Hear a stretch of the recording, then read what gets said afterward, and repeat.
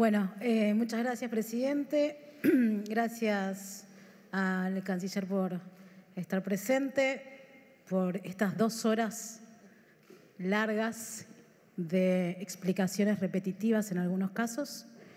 Eh, nosotros en la última comisión de Relaciones Exteriores hablamos del quinto punto que usted hizo alusión en su presentación que tiene que ver con Malvinas.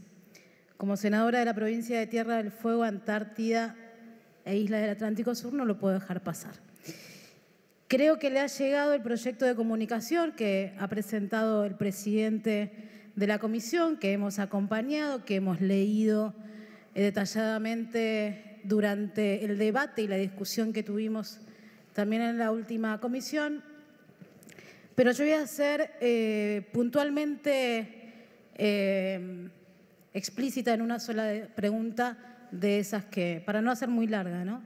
Después sí quiero hacer una reflexión porque teníamos algo pendiente de lo que se había hablado en cuanto a este pacto denominado Forador y Duncan, ¿no? Sabemos la manera en que se negoció, o al menos eh, los medios de comunicación y demás lo han expresado, no voy a entrar en eso, solamente preguntarle en qué estado está, si está vigente este pacto Forador y Duncan, sabemos eh, lo que ha significado para la Argentina eh, desde 2016 en adelante, sabemos también, y lo voy a repetir las veces que sea necesario, los cuatro años de desmalvinización que tuvo el gobierno de Macri, porque además Foradori era ex eh, canciller, ¿no? vicecanciller, y que ha firmado este pacto que yo lo llamaría un pacto de caballeros, ¿no? Por cómo fue firmado, dónde fue firmado y demás. Me acercaba el presidente de nuestro bloque que en el año 2016, esa es la pregunta concreta, no voy a hacer más preguntas, sí comentarle que en el año 2016 se presentó ¿no? un proyecto de declaración y se votó, se aprobó sobre la ilegítima apropiación de nuestros recursos eh, de, sí, de Malvinas, naturales y demás. Y entendiendo eso, también voy a esta negociación de soberanía, ¿no? En el lugar donde se hizo, yo entiendo como senadora fueguina y habiendo este, estudiado no solamente el pacto, sino también la forma de entrega de soberanía, quiero eh, citar textualmente dos cosas que han quedado de la comisión anterior y que tienen que ver con esto que planteo.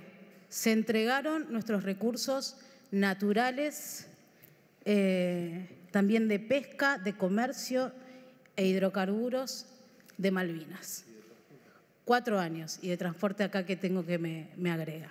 Pero voy a citar textualmente lo que dice este pacto de Forador y Duncan, ¿no? Se acordó adoptar las medidas apropiadas para remover todos los obstáculos que limitan el crecimiento económico y el desarrollo sustentable de las Islas Malvinas, incluyendo comercio, pesca, hidrocarburos. Esto fue lo que se firmó o lo que se acordó o lo que se pactó, que es peor. Lo que se pactó con lo que quiere decir esa palabra. Eso dice textualmente este pacto Forador y Duncan. Se me discutió y se me criticó en la, semana pasada en la comisión lo que tenía que ver con las declaraciones del ex, del ex viceministro también del Reino Unido, pero quiero leer algo textual que dice en sus memorias, que además coincide con lo que dice el pacto. Martes 13 de septiembre en Buenos Aires, en la Argentina, y lo voy a hablar en este caso en castellano para no decir las siglas en inglés, en el Foro de Inversiones de Argentina tengo un breve encuentro con el presidente Mauricio Macri, quien aprobó nuestros esfuerzos. Avanzamos un escalón desde anoche recordamos esa noche, para llevar a cabo más negociaciones sobrias, sobrias entre paréntesis, con la canciller Susana Malcorra, que continúa hasta último momento. A veces parecía que no podíamos ponernos de acuerdo, dice Duncan, pero salimos con la primera declaración conjunta positiva desde el año 1999 sobre comercio, seguridad y apertura de nuevas rutas aéreas a Malvinas. Yo lo dije en la comisión anterior, a mí no me importa qué vino tomaron, cuántas botellas tomaron, lo que sí me preocupa, lo más grave de todo esto, es cómo se hizo esta negociación. Se hizo en el territorio usurpador, como usted lo dijo, de hace 189 años.